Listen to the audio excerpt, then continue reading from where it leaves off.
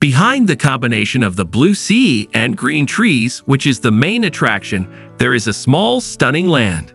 This place is Nukunonu, a settlement located in the middle of the Pacific Ocean. However, behind its charming beauty, there is a big threat that always lurks.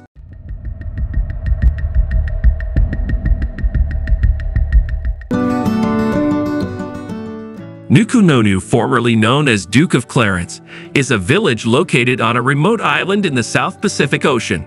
This island is not large, only around 4.7 square kilometers, smaller than the Ancol area in Jakarta, which reaches 5.77 square kilometers.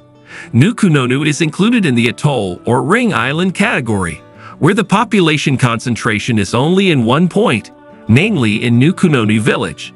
The rest of the land is uninhabited, filled with white sand, dense forests, and thriving coconut groves.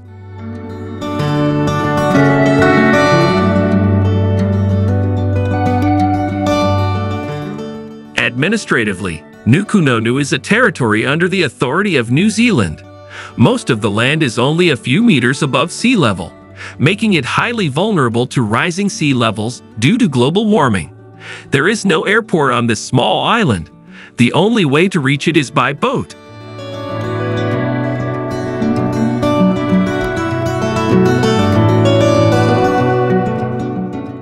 Historically, Nukunonu was previously under the authority of Western Samoa before New Zealand was granted jurisdiction over it in 1925. In 1948, legislation was passed to provide for the management of Nukunonu under New Zealand authority.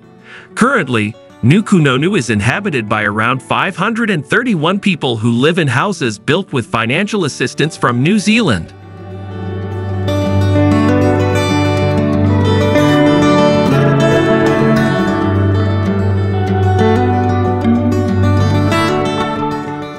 The village is led by a Tuliga, or council of elders consisting of the head of the family group and two elected members.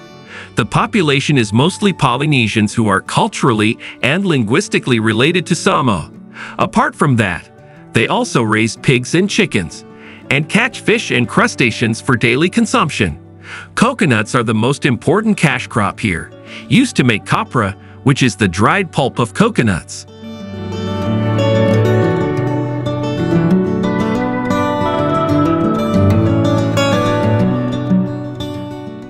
Nukunonu relies heavily on New Zealand for food, building materials, and fuel. Fresh water is rare here, so local residents collect rainwater for daily use by installing storage tanks in every house.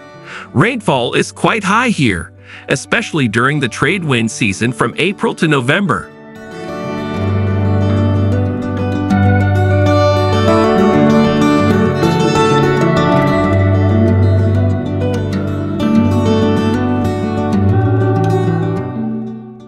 On Nukunonu, there are two small islands used as cemeteries and one small island for pig farming, where people take boats every day to feed their pigs. Other small islands are used as vegetable gardens or picnic spots. Even though it is remote, Nukunonu has several important facilities such as hospitals, schools, and internet services. Apart from that, this place also has independent electricity facilities supported by solar power plants, a project funded by New Zealand.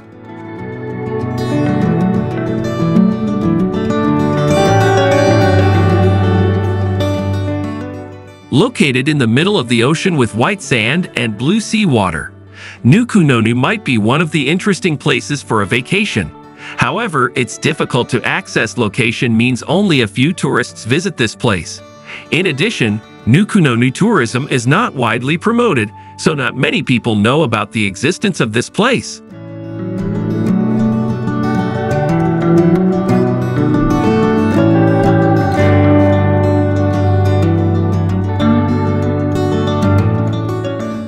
In short, Nukunonu is an extraordinary little settlement in the middle of the blue ocean. However, Nukunonu also faces various challenges. Its geographic isolation means access to health, education, and economic services is limited. Climate change and rising sea levels also pose serious threats to the village's future.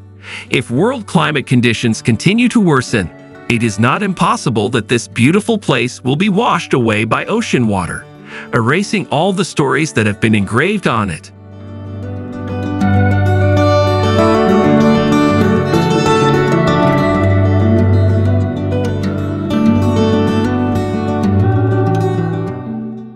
Thank you for watching this video until the end, and don't forget to like and subscribe to this channel so that we can get to know the world with just the touch of a finger. Happy activities and always be healthy. Bay.